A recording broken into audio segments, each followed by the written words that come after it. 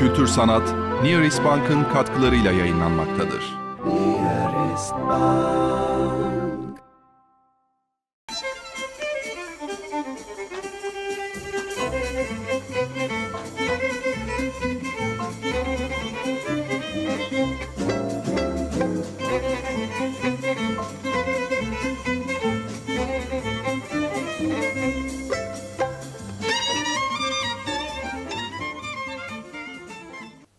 Aydınlığa, sevgiye, barışa ve dostluğa açılan penceremiz kültür sanattan merhaba.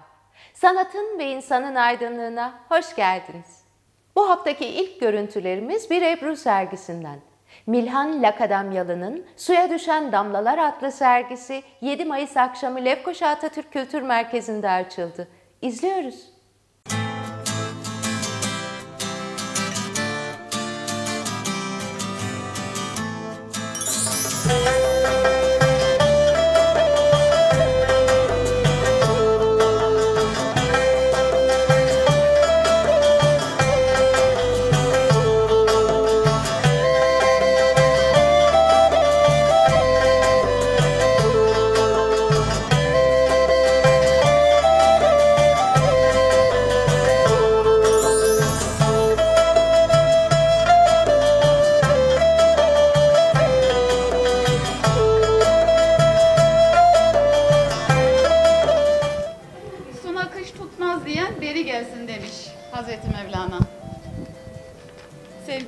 Misafirler, bugün yanımda bulunduğunuz için, bu özel günde yanımda bulunduğunuz için çok teşekkür ederim tekrar. Hepinize iyi seyirler dilerim.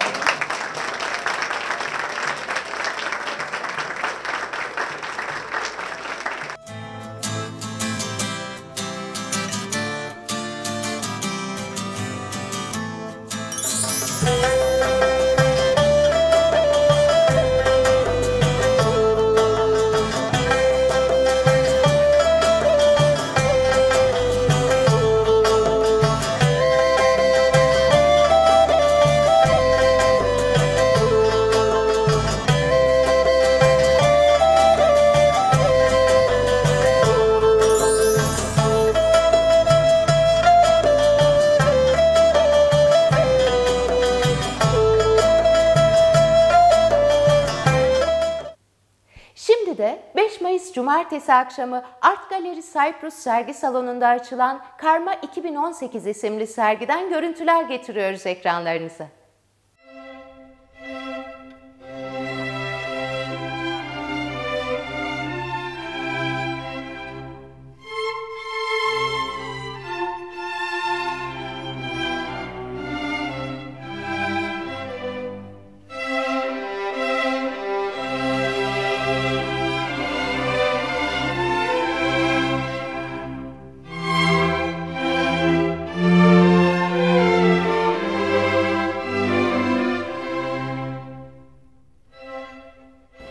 Aslen Girneliyim. Ee, e, Lefkoşa Türk Lisesi'ni bitirdikten sonra e, Girne'de Sosyal Yardım Dairesi'nde kamu görevlisi olarak göreve başladım. 18 yıl çalıştıktan sonra emekliye ayrıldım. Ee, halen emekliyim, evliyim, ee, iki çocuğum ve iki torunum vardır. Resim yapmaya ben çocukluk yıllarında başladım. Ee, çocukken kumlara, taşlara, toprağa resimler yapıyordum, ee, heykelcikler yapıyordum. Ee, daha sonra bu çalışmalarım da okul yıllarında devam etti. Ancak e, kamu görevlisi olduğum yıllarda e, çok fazla resim yapma imkanım olmadı. Emekliye ayrıldıktan sonra e, bu çalışmalara hız verdim ve o hızla halen devam ediyorum. E, benim 9 tane kişisel sergim ve 8-10 tane de yine karma sergim mevcuttur. Ee, bu sergide Türkiye'den gelen resim sanatçılarımız e, Sayın Profesör Doktor m, Ramiz Aydın, Profesör Doktor Ahmet Özol, Profesör Doktor e, Basri Erdem ve e, Rafiye Karaca'yla birlikte e, açtık. E, onlar yolcu beraberi getirdikleri için çok fazla eser getiremediler ama yine de her biri 8'er 10'ar tane eser getirebildiler. E, getirebildiler. Benim e, 19 tane e, eserim mevcuttur. E, buradaki e, eserlerin ana teması göçtür. E, bildiğiniz gibi dünyada en büyük sorun şimdi göç. Bu e, olaylar beni çok etkiledi ve e, bir anda bu resimlerin, bu eserlerin ortaya çıkmasını sağladı.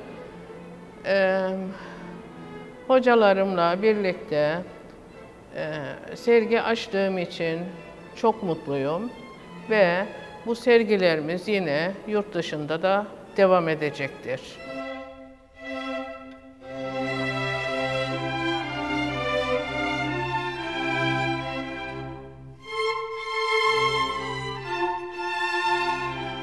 Ee, Karma 2018 e, resim sergimiz e, 5 Mayıs e, günü açıldı. 25 Mayıs'a kadar devam edecek. E, Bu sergimiz 5 sanatçıdan e, oluşan bir sergimiz ve 4 tanesi Türkiye Cumhuriyeti'nden katılıyor. Bir sanatçımız da Kıbrıs'tan Zülal Karlova katılıyor. Şimdi farklı temalarda çalışan sanatçılar. Profesör Doktor Ramiz Aydın, 1937 Giresun doğumlu. E, Ramiz Bey ağırlıklı olarak e, gelin e, alayı temalı ve gelin temalı e, eserler çalışıyor. E, önemli olan Ramiz e, Bey'in resimlerine baktığınızda özellikle gökyüzü geniş bir alan tutuyor. Genel tarzı bu yönde çalışmaları. Diğer bir sanatçımız Profesör Doktor Ahmet Özül. E, 1945 yılında Balıkesir e, Gönen'de e, doğmuş. E, e, onun e, tekniği ise e, kendine özgü e, kum tanecikleriyle bir e, teknik geliştirmiş ve e, semboller e, üzerine kibele e, motifleri e, çalışmaları şu anda e, sergileniyor şeyimizde, e, sergimizde. Üçüncü sanatçımız Profesör Doktor Basri Erdem. Basri Bey 1948 Lüleburgaz doğumlu. Basri Bey de e, ağırlıklı e, Anadolu e, manzaraları çalışıyor. E, farklı tepeler, özellikle Mardin tepelerini ön plana çıkarmış e, eserlerinde. Diğer sanatçımız e, e, Zülal Karlova 1951 Girne doğumlu ve bu 9. Karma sergisi Zülal Han'ın. E, e, eserleri bu burada kullandığı tema bir göç temasını kullanmış. Şimdi dünyada e, çok yoğun e, her hemen hemen her yerde e, göçler e, oluşuyor. Yani bu bunu anlatacak bir e, çok renkli, e, kendine tarz, e, özgün tarzıyla bu göçü anlatmış Zülal Hanım. E, Rafiye Karaca Türkiye Cumhuriyeti'nden katılıyor. E, 1962 Bulgaristan doğumlu Rafiye Hanım. E, ancak e, 1989 yılında zorunlu göç ile e, Gebze'ye yerleşmiş ve eserlerini e, Türkiye'de e, üretmeye başlamış. E, Rafia'nın tekniği ise renkli, e, soyut temalar kullanıyor. Ancak kendileri Bulgaristan göçmeni olduğundan dolayı bu e, göç, e, göçmenliği e, özellikle e, resimlerin içerisine gizli e, figür veya e, kuş motifleri işlemiş. Sergimizde, karma sergimizde bizlere destek olan e, Türkiye Cumhuriyeti Kalkınma ve Ekonomik İşbirliği Ofisi ve e, e, Kültür Dairemize, Kuzey Kıbrıs Türk Cumhuriyeti Kültür Dairemize e, çok teşekkür ediyoruz.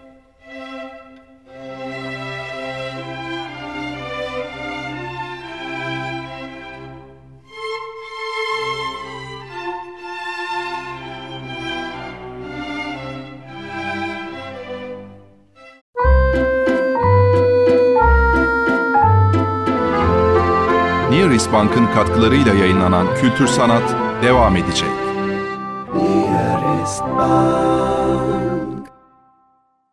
Karşınızda Mehmet Bey. Konut kredisi almak bir sanat, bu sanatın üstadı da sizsiniz. Bütün işler bittiğine göre geriye yaslanın ve tadını çıkarın. Mehmet Bey? Ne oluyor Mehmet Bey? Ek masraf mı? Uyanın Mehmet Bey, uyanın. Kabus değil, gerçek. Sıkıntılar başladı bile. Faiz değişikliği mi? Oysa Mehmet Bey Nearest Bank'a gelmiş olsaydı bunların hiçbiri olmazdı. Ek masrafmış, faiz değişikliğiymiş. Bırakın bunlarla diğerleri uğraşsın. Gelin biz sizi ev sahibi yapalım. Üstelik sadece yüzde 0.63 faizle. Nearest Bank. Ne güzel şeymiş düşünülmek.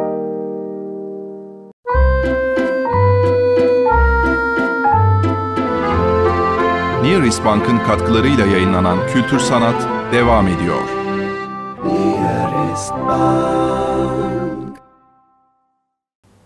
Bugün konuğumuz şair, yazar Bedia Balses. Hoş geldiniz. Merhabalar, hoş bulduk. Ee, çok güzel kitaplarla geldiniz bize. Çok teşekkür ederiz. Ta Mausa'dan trafiğin içinde e, zaman ayırdınız, geldiniz. Sağ olun. Ee, çok da güzel bir gündemle böyle insanın içini açan, daha baka- baktığında insanın içini açan bir kitapla. Ee, tabii şiir kitabınızı da konuşuruz ama şimdi kesik kanatlı kuşlarla başlayalım mı? Çok daha yeni Evet. e, hayatımıza girdi. E, nasıl gidiyor?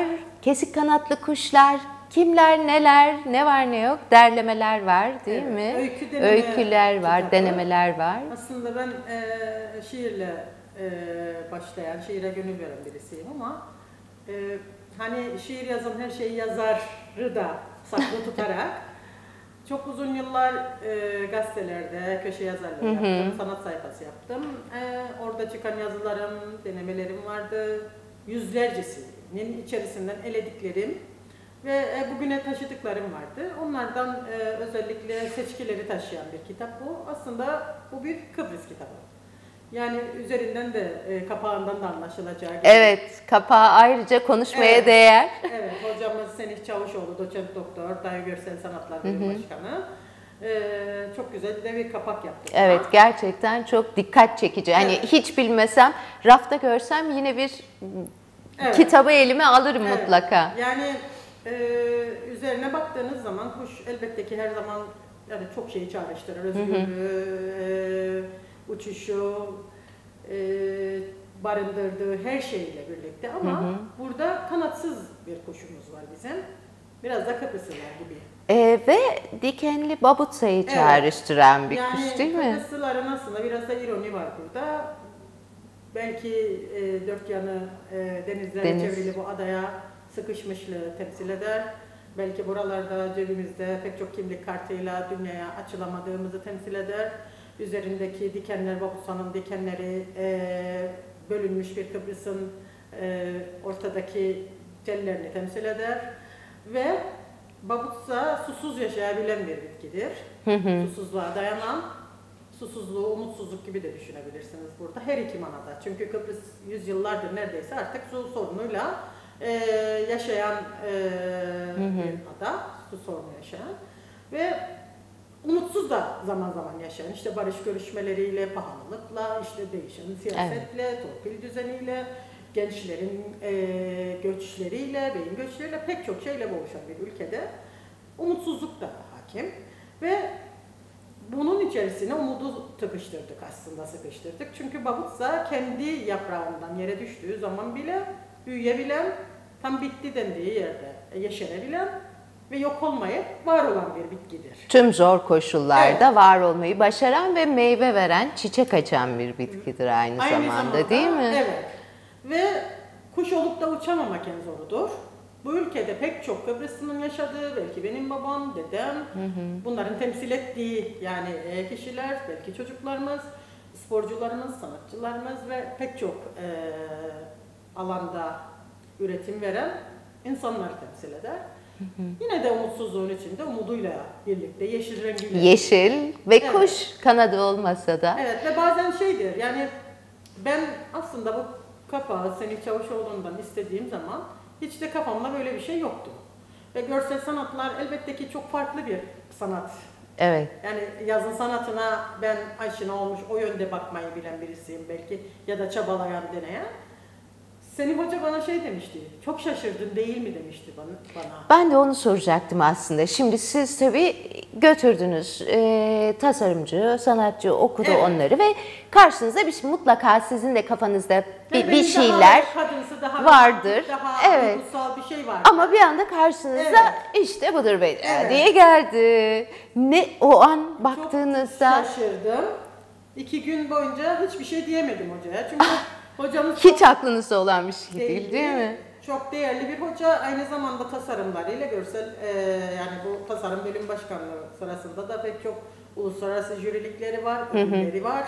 Ve onun ben e, nasıl yorumlayacağımı birden şaşıran birisi olarak o bana güldü sonra dedi ki ne oldu dedi çok şaşırdım. Tahmin dedi. etmiştir zaten. Amaç da buydu dedi bana. Orada ben biraz uyandım. Gerçekten de sanırım amaç bu ne de dedirtebilmek zaman zaman. Çünkü bu e, kapak baktığınız zaman kendini e, yani e, görselliğiyle anlatabilecek bir şey Evet. değil tamamen. Yani içinde sakladıklarının bir.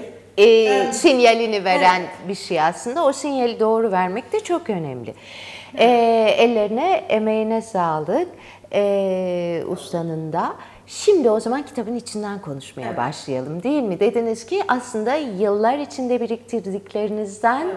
seçtikleriniz, kalburun üstünde, en üstünde kalanlar burada. Daha eminim bir sürü e, sırasını bekleyen Evet. vardır. Yıllar içinde birikmiş olan şiirler, yazılar, denemeler. Ama ilk etapta şiir kitabınızdan Evet. sonra e, yazı anlamında, düz yazı anlamında bu kitaba sığanlar neler? Biraz da oradan bahsedelim mi? Şimdi kitap yazmak insana farklı bir de bir şeyler öğretiyor. Kitabı bitirdiğiniz zaman kendi tarihinize de bir bakıyorsunuz. Gerçekten bunu kitap çıkarmadan ben bilmiyordum. Yani dönüp bakıyorsunuz ve o süreci tekrar yaşıyorsunuz. Bunu ben mi yazdım diyorsunuz. Keşke böyle yazsaydım dediğiniz gibi yazmasaydım. Yani kitap çıktıktan sonra bunu da koymasaydım bile Dediğiniz oluyor. oldu. Yani çok yeni olmasına rağmen de dediğiniz oluyor. Ki o kadar e, gözden geçirmişsiniz, Ve- okumuşsunuz, Evet. seçmişsiniz. Eminim o da uzun bir e, Ama- dönem e, zaman ve emek da bana istemiştir. şey veriyor. Yani üçüncüyü daha iyi yapabilirimin Değil mi? çalışma şeklini Tabii. veriyor. Burada kendinizce e, olmasaydı dediğiniz, yapmasaydım dediğiniz her şey üçüncü kitabın daha mükemmel olması için bir sebep aslında. Ve- bir e, şey, onun ön koşulu oluyor. Evet ve bence insan ne zaman biter? Ben yaptım, ben Ha, iyiyim, evet. ben çok iyi bir şey başardım. Ha, belki zaman zaman bu hissi de yaşamak lazım ama ben eee, işte çok iyiyim, tamamım dediğiniz zaman bence kişisel de olsa sürecinizi bitirmiş olursunuz gibi bir şey. Kendinize Çünkü- vereceğiniz en büyük zarar Yaşam oldu değil mi? kendini çok fazla yenileyen e, de bir şeydir. Evet. Ve öğrendiklerimiz, öğrettiklerimiz de e, bitmez yaşadığımız sürece. Dolayısıyla kalemimiz de yenilenebilen bir şeydir. Hem okumak hem de çalışmakla elbette ki. Ben uzun yıllar bir şeyle çeliştim. Kitaptan sonra bunu kafamda değiştirdim. Ben sandım ki bu kitabı yazdıktan sonra ben hep geçmişi yazıyorum. Ee, geçmişe ait e, sızıları, sancıları yazıyorum. İşte annemin, babamın ya da işte Kıbrıs'ta yaşanan e, savaşın, göçün etkilerini yazıyorum ve bu bana bir ara şey verdi. Ben hep aynı şeylerimi yazıyorum gibi. Sonra e, bu kitap çıktı. Bu kitapla ilgili çok yorum geldi. Tabii. En çok yorum gelen şeylerse savaşın, göçün izlerini taşıyan hikayelere, öykülere geldi. Ve ben yeniden bir şey anladım, kendimle ilgili bir şey öğrendim. Hayır, Kıbrıs insanı bu yüzleşmesini tamamlamadı. Ve ben kendime biraz haksızlık yapmışım. Yani ben dedim ki artık yeni bir şeyler yazmak istiyorum. Ben zaten yeni bir şeyler yazıyormuşum meğer. Çünkü bu ülke, bu ortadan bölünen, bu sınırlarla bölünen ve hatta o savaşı yaşayan, göçü yaşayan ve iki eee, hem doğduğu yerle yaşadığı yer farklı olan insanların çocukları ve o ara bölgede kalan insanlar, ara eee, arafta kalan insanlar tamamlamamışlar bunu. Ve bu yüzleşme, bu iki toplum arasındaki yüzleşme, bu Kıbrıs'ın içerisindeki şu, şu anda yaşanan o kültürel anlamdaki eee, zorluk da bitmedi. Ve ben dedim ki en çok dikkati hala bu öyküler çekiyor. İnsanlar hep onları konuşuyorlar. Meselemiz bu demek Ve ki mi? demek ki ben bunları daha da yazacağım. Çünkü ne zaman bir şeyi bitirirsiniz ve belki toplum olarak, insan olarak, insanlık olarak geride kalır. Artık onu yazmazsınız, başka bir şeyler Evet, yazarsınız. evet. ilgi çekmemeye Ve bu kitap başlar zaten. tanıtımlarında öğrendim ben bunu. Hem genç nesil hem benim hem de benden önceki nesil kitabın içerisinde var. Ee, anneme yazdığım e, bir öykümüz var. Bu e, kapılar açıldıktan sonra gidip evimizi bulmamız, annemin evini bulması, orada karşılaştıkları, e, orada yaşananlar ve en çok o dikkati çekti mesela. E, hoş geldin Rahme, geçmişini Çünkü arayan kadın. hepimizin aslında hayatında e, kapıların açılmasıyla birlikte yeni bir evre başladı. Evet. Yani o döneme tanıklık etmeyenler için de burada masal gibi dinledikleri bir şeylerin gerçekliğiyle yüzleşmek söz konusu oldu değil mi? Aslında Evet. bir taraftan da çok taze yeni bir duygu yaşıyoruz bütün o Ve süreçle. o 40'a yakın yılın yüzleşmesini insanlar 40 yıl erteleyerek yaşadılar. Evet. Ertelenmiş bir acı da Evet. tabii. Yani- Çok daha uzun aslında yas daha uzun sürer, hesaplaşma daha uzun sürer. Evet. Çünkü bir yerde gerçekliğini yitirmiş bir takım fotoğraflardı anlatılanlar ve şey ben kelimelere inanan ve bu yola baş koyan birisi olarak bile kelimelerin içerisindeki hayatlar ancak gerçekle temas ettiği zaman Evet. e, size belki acı verebilir, daha çok dokunabilir. Ve ben e, kapılar açıldıktan sonra da bir başka e, Boyutu, değil mi? yaşadım. çok çok ilginç tabii ve siz kaleminiz bunları kalıcı hale Ve getiriyor. hala belki e, senaryolaştırma fikirleri geliyor zaman zaman öykülerden Evet. bazılarına. Onlarla alakalı olanlar. Hala bitirmemiş demek ki insanlar bunu Bitmemiş demek ki. çekmek istiyorlar, yazmak istiyorlar. Ama e, ben tabii ki öykülerimden sonra kendimle ilgili bir şey merak eder oldum. Uzun yazabilmeyi.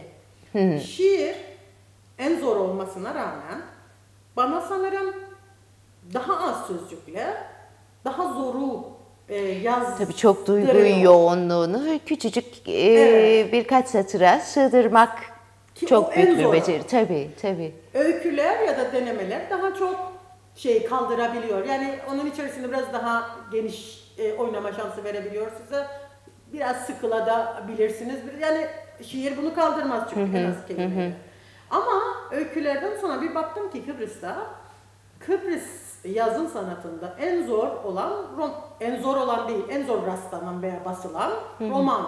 Yani roman çok az basılan bir e, tür şu anda Kıbrıs'ta. En zor olmasına rağmen en çok şiir kitapları basılıyor. Hatta çoğu yayın evi artık şiir kitabı basmak istemiyor. Öykü de daha az. Biraz daha revaçta ama özellikle roman hangi yayın evine giderseniz gidin çok arzu ettikleri özellikle de Kıbrıs'ta. E tabii roman yazmak da bambaşka bir emek ve mesai gerektiriyor değil mi? Çünkü e, belki yılları alacak bir e, ama aynı konu üzerinde hani sizin de yılların emeği var burada ama hepsi kendi başına ayrı ayrı başlamış meseleler aslında. Fakat roman dediğimiz zaman sıfırdan büsbütün bir hayatı kurup Evet. onu yaşayıp e, bir sona bağlamanız gerekiyor. Derdiniz her neyse onu bir yaşam, bir bir boyut içinde her boyutuyla bir e, şeyde kurmak gerekiyor. Ama sanıyorum şiirden sonra öykü ve denemeler e, yol o tarafa doğru da gidiyor galiba. sanırım. Çünkü öyküleriniz de zaten değil mi? Küçük küçük onun hazırlığı sanki. Evet, belki uzun yazabilmeyi e, şu anda emin değilim yapabileceğimden ama denemeyi... Başlamadan bilemezsiniz istiyorum. ama bence- de devam ediyorum ama bir de parantez açayım ben yayın evim için. Evet oraya da gelecektim. Buyurun. Ee, Hora Yayın Evi'nden çıktı kitabınız. uz- İki kitabınız da oradan. Evet, iki kitabım da Hora yayınlarından çıktı. Doğrusu onlarla e, tanışmam e, güzel bir dönüm noktası da oldu hayatımda bu anlamda. Cesur yürekli insanlar buradan onlara sevgilerimi, saygılarımı gönderiyorum. E, Münir Rahvancıoğlu, Nazan Şansal, birlikte çalıştık, Mustafa Kelesler'de bunlar. Bu insanlar hem duruşlarıyla da, yaptıklarıyla da çok böyle örnek teşkil eden insanlar. Ve ben onlarla tanıştığımda moralim düzeldi. Çünkü onların yayın kurulları var ve oradan kitabınızın çıkması e, iyi bir şey sizin için de. Çünkü Bir kişi karar vermiyor yani buna. o iyi bir yayın evi olduğu için Hora yayınlarından çıkması da sizin için bir referans. Ee, ben çok uzun yıllar sivil toplum örgütlerinde çalışan bir insandım. Oradan oraya e, koşarken, sürüklenirken de hep kendimi ikinci plana atmıştım bu edebiyat e, alanında. Bir de çok kolay şiir kitabı basılan bir ülkedeyiz. Akdeniz'de hemen hemen herkes şair. bir yere gittiğiniz zaman herkes der mutlaka ben de şiir yazıyorum. Parayı verip de çok kolay da şiir kitabı basılan bir ülke. Ben Horay'dan e, kitabımın çıkması, birinci kitabım Sızıntı çıktı. Yine kapalı çok değerli Kıbrıs'ın e, uluslararası e, arenadaki gururu Ümit İnatçı yine hocamız yapmıştı. Onu da e, buradan Şöyle sana birazcık. Evet. kesik kanatlı kuşların e, şeyini kapattık. Sızıntıya geçelim şimdi şöyle. O da çok iyi bir satış grafiğiyle e, sızıntı da çok iyi satış yapmıştı. E, kesik kanatlı kuşlar da aynı derecede hatta belki daha üst. e, Siz satışta. şimdi tabii e, özür dilerim lafınızı balla kesiyorum. Çok da güzel bir şey oluyor. Basında falan da sürekli görüyorum. Evet. E, imza günleri oluyor ve bu Lefkoşa'da tamam kitap tanıtımı oldu burada ama burayla sınırlı kalmadı. Siz dolaşmaya başladınız. Evet. Bu tabii çok güzel bir şey. Sizin için de eminim Evet. öyledir çünkü okuyucunuzla sıcak temas imkanı Çünkü buluyorsunuz. Bunun bir de reklam tarafı var, duyuru tarafı var. Ve insanın kendi kendinin duyurusunu yapması, kendi kendinin reklamını yapması daha zor bir şey. Tabii. Bir otoritenin, ki bu sizin yayın evinizdir, bunu yapması, bu hem e, belki gurur verici, hem işinizi kolaylaştırıcı, hem de sizi motive edici bir şey. Çünkü bana kalsaydı belki güzel yurta gidip kitap tanıtımı yapamazdım. Girne'ye gidip e, yapamazdım yani tanıdıkları şunu bunu araya sokup. Ama yayın evin bunu yapıyor. Bunu planlı bir şekilde. Çok önemli bir şey kendi bu. yazarlarına, kendi şairlerine kitabını çıkardığı kişilere bu plan program çerçevesinde bunu zaten yapıyor. Evet. Ve siz ona göre e, gezip hem oradaki okurlarla buluşuyorsunuz, hem kitaplarınız satılıyor, hem de çok farklı e, Sohbetler evet, oluyordur, etkiler, değil mi? hiç Geri dönüşler oluyordur. Evet, evet. Hiç tanımadığınız insanlar mesela sizi çok iyi okuyorlar oralarda. Aslında yazar olarak sizi çok besleyen bir şey. Çok güzel bir organizasyon. Ben de okuyucu tarafından, kendi açımdan eee, bakıyorum olaya. Şimdi her zaman kendi alanımda, tiyatro alanında da hep aynı şeyi söylerim. Eee Lefkoşa ile sınırlı kalmamalı hiçbir şey. Eee, şimdi ben okuyucu olarak Güzel Yurt'ta ya da Mausa'da oturuyorsam eğer her şey burada. Ve her seferinde her şeye yetişemem. Ama okuyucum bir ilgimi çekiyor ve sizinle tanışmak, kitabınızı imzalatmak istiyorsam eğer başka şansım olmuyor çoğunlukla. O yüzden e, hem siz yazar olarak sizler için çok değerli bir şey ama bizim için de çünkü sizinle buluşma imkanı tanıyor bize ve Lefkoşa'da olmak zorunda değiliz Evet. bunun için. Bu çok güzel. Çok güzel ve inanın ben de bu tanıtımlardan sonra fark ettim. Bu daha uç yerler, daha uç ilçeler belki çok daha aç, çok daha ilgili, çok daha önemseyen bir kitleye sahip. Ben çok şaşırdım. Örneğin Güzel Yurt'ta müthiş bir kitap tanıtımı oldu. Hem de o gece çok farklı e, etkinlikler vardı yine. E, sanırım bir sem- sempozyum bir şey vardı. Ona rağmen e, hınca hınç dolu bir horada E bu sizin güzel. motivasyonunuz da Çok. çok iyi etkiler ben değil mi? ülkemi de tanıyorum. Ayna gibi bu. Hı hı, tabii tabii. Yani- Bundan sonraki üretimlerinizi belirleyecek bir şey Yani aslında. Enerjinizi belirleyecek. ilgiyi, Evet. hani Lefkoşa bir nevi şey de olabilir dediğiniz gibi. Hem çok fazla etkinlik yapılıyor, sanatçıyı barındırabilir, etkinlikler her hafta Her şey olabiliyor. burada oluyor yüzden çünkü, insanlar evet. Biraz ilgisiz de kalabiliyorlar. Ama Güzel Yurt gibi işte İskele gibi veya Mausa'yı da içine katalım hatta Mausa gibi bunlar daha ilgili sanki.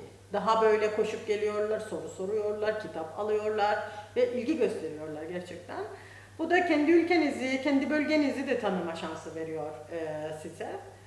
Bence öğrenmek isteyen insan için her adım bir yolculuktur. Ve ben Sizin için de galiba kesik kanatlı kuşlarla yeni bir yolculuk başlıyor Aynen öyle. değil mi? Ve bir şey, e, bir ilginç bir şey var. Kesik kanatlı kuşlar e, koridor diye ismi olacaktı aslında. Koridor e, ismiydi şeyin, kitabın ismi. Öyle mi? Evet, koridordu. Ve çok ikileme düştüm ben. Kitabı bitirdikten sonra çok böyle büyük bir ağırlık çöktü üzerime. Ee, çok uzun yıllar Sabahattin Ali de okuyan bir insandım ben. İçindeki bir öyküden, e, kitabı taşıyan öykülerden bir tanesini e, diye düşünmüştüm kitap ismi olarak. Koridorda yaşam koridoru gibi yani düşünmüştüm. Upuzun bir koridor ya da kısa ya da ışıklı, ışıksız her şeyi barındıran. Bitirdim kitabı. O kadar çok yüklenmişim ki sanki bir kişi değil çok kişiydim. Ee, zaman zaman annemdim, komşumdu, hiç tanımadığım belki Afrikalı biriydi, e, Bosna Hersekli biriydim, dedemdimle o kadar çok karmaşayla e, bitirdim ki kitabı yeniden. E, sonuç olarak, özet olarak kendimi böyle Kıbrıs adasının e, bir insanı gibi düşündüm. Yani sanki böyle Kıbrıs adasını temsilen Rum'du, Türk'tü, şuydu, bunun haricinde insanı zaman zaman hayal kırıklığına uğrayan bir insanı, oralarda e, yaşamaya çalışan ve kesik kanatlı kuşlar dedim. Ben kesik kanatlı bir kuşum. Kendiliğinden geldi Kendiliğinden sanki. geldi ve içinde kesik kanatlı kuşlar diye bir öykü yok. Sadece kitap adı bu. Ve çocuktum. Bahçemizde yine e, annem çok hayvan besleyen, çok hayvan sever birisiydi. Ben anneme çok sorular sorardım. Bir gün böyle tavuktu, toprak kuşuydu falan. Bunlarla bu kafeslere bakarken ona dedim ki bunlar niçin kanatlarını kestin anne dedim. Çünkü avluya bıraktığı zaman gözlemledim uçamasınlar diye veya uçuşlarını kontrol edeyim diye dedi. Tam o avlu gözümün önüne geldi bu kitabı yazarken. O kanatlarını annemin kestiği kuşlar biraz havalanırlar ama annem onların nereye uçacağını bilir, kontrol eder ve komşunun duvarından bile atlayamazlardı. Öyle hissettim. Ülke Uçacak gibi mesafeleri belirlenmişti. belirlenmiş, kontrol edilmiş Uçuş ve mesafeleri. birileri belki kontrolünde uçuyorum zannederken kuşlar aslında uçamadıklarını çok fark O kadar yani. e, daha sonra fark ediyorlar. Uçuyor sanacak kadar uçabiliyorlar aslında. Ve ben de bir e, Kıbrıs'ta insan olarak çok hissettim bunu zaman zaman. Bazen şiirlerimde de, öykülerimde de uçabildiğimi e, hissederim. Bazen çok fazla kanatlarımın kesik olduğunu hissederim ama bu sadece ben değilim. Gözlemlediğim ve tanımadığım pek çok Kıbrıslı. Şey diyebilir miyiz o zaman? Aslında kitap tabii dedik hani geçmişten gelen yazılar, bir sürü yazı. Evet. Şimdi kitaba girenler var ama onları seçebilmek için kitaba girmeyen bir sürüsünü de tekrar elden gözden geçirdiniz değil mi?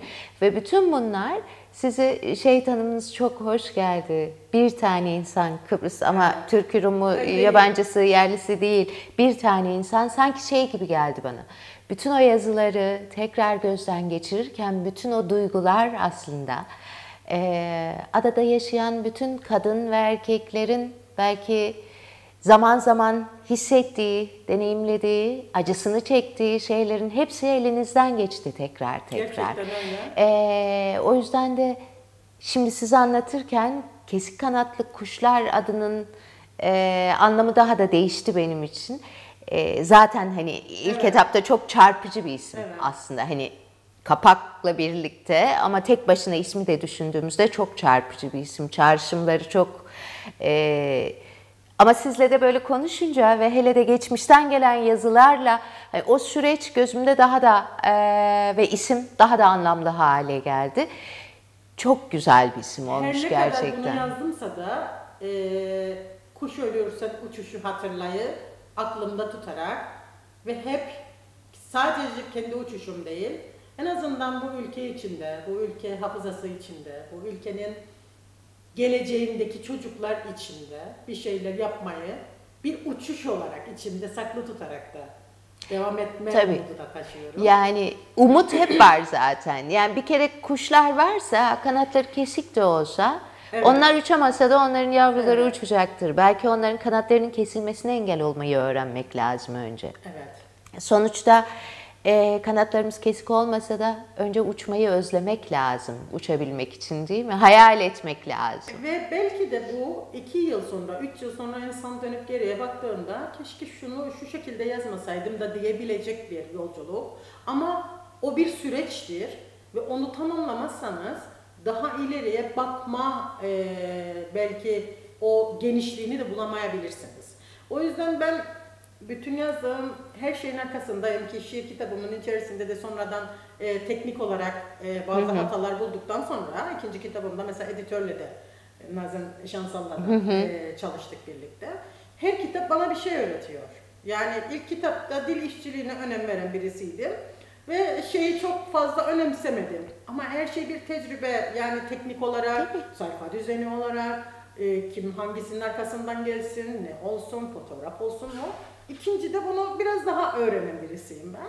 Artık üçüncülerde, üçüncüde veya daha e, sonra çıkacak olan inşallah e, olursa da daha farklı şeyleri de önemsemeye başlarım. Bu kendinizle de bir ilgili bir yol. Tabii. Yani Bir de ülkemizde tabii şey e, daha yeni yeni profesyonel anlamda çalışılmaya başlanmış Aynen bir öyle. alan. Bütün bu söyledikleriniz aslında sizin düşünmenize gerek olmayan kitabın Evet, tasarımı, evet. kitabın e, edisyonu, evet, evet, evet. onların hepsi farklı uzmanların işi. Ama e, Hora bu anlamda çok e, takip ettiğim kadarıyla zaten sağlam bir ekiple hareket ediyor ve bu anlamda zaten ülkemizin Yayın hayatı da profesyonelleşmeye başlıyor. Okuyucu da bu anlamda eee, daha bilinçli olmaya başlıyor. Bu da çok umut verici aslında. Çünkü şimdi siz bu yolculukta güvenle eee, yürüyebileceğiniz bir eee, yayın evi bulduğunuz zaman tek düşünmeniz gereken yazmak olacak. Bu büyük bir özgürlük. Hatta şöyle bir şey düşünüyorum. Şimdi siz bu yolculuklar, eee okuyucularınızla buluşmalar sonunda eminim e, dediniz zaten roman mı acaba diye demek ki bir şeyler kurulmaya başlamış içeride.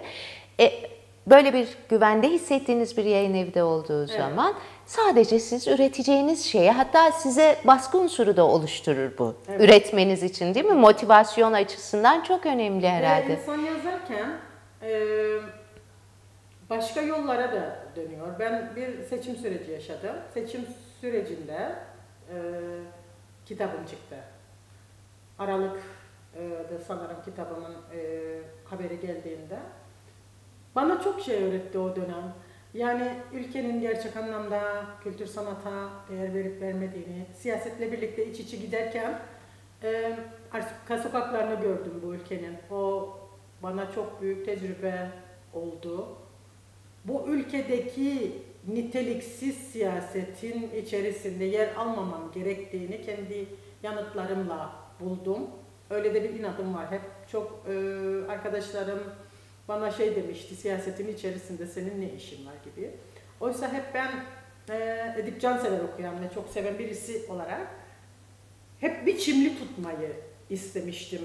Olduğum yerlerde kelimeleri biçimli tutmayı, ilişkilerimizin biçimli olmasını, belki meclisteki konuşmaların, hitapların, yani bu seviyeyi yükseltebilecek insanların bir yerlerde olabilmesini, bunun da en önemli, belki en farklı, en güçlü e, yolunun siyasetten de geçtiğini. Çünkü kendimi sanat dünyasının içerisinde de e, düşünecek e, birisi olarak, düşünen birisi olarak, sanatçıların da veya sanatseverlerin de siyasetten çok da kopuk olmadığını bilen birisi olarak denedim.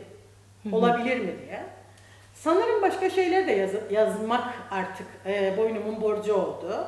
Çünkü e, yani çok da sanat böyle parlatılan, e, parti politikalarında da parlatılan bir şey değil. Önemsenen bir şey hiç değil.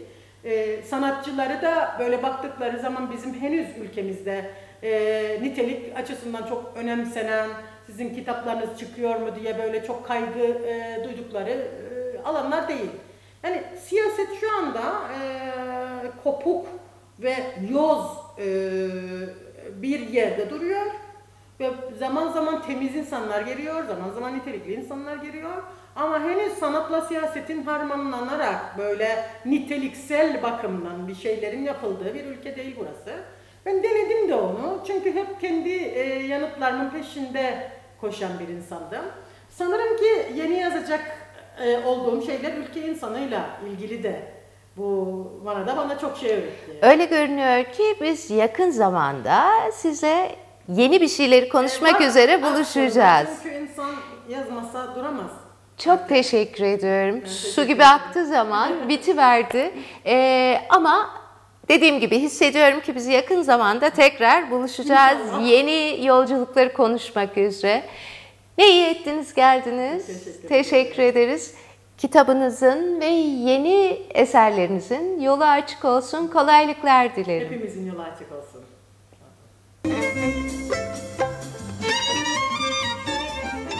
Programımızın son bölümünde 6 Mayıs pazar akşamı gerçekleştirilen Cumhurbaşkanlığı Senfoni Orkestrası Mayıs konserindeyiz.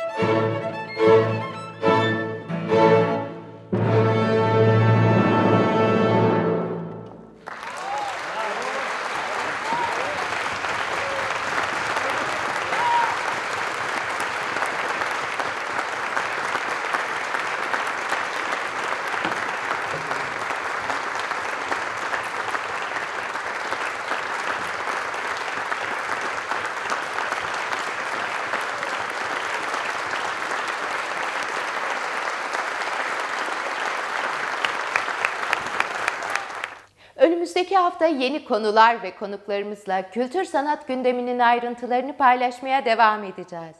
Haftaya sanatın ve insanın aydınlığında buluşmak üzere. Hoşçakalın.